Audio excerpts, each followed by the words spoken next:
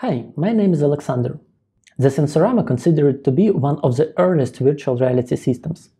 It was a mechanical device which included a stereoscopic color display, fans, a stereo sound system, and emotional chair.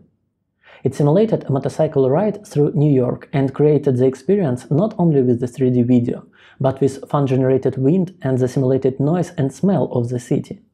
I don't think we will simulate the whole Sensorama experience, but we may create at least the VR visualization part. For simplicity, I'll reuse the Sword of the Damocles sample we wrote in the last video. You may want to watch it first. Let's replace the node's geometry with a sphere and change its position to 0. By doing this, we place the camera inside the sphere.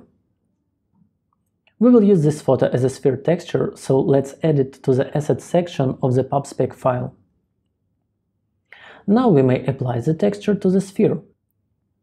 The trick is to make the material double-sided.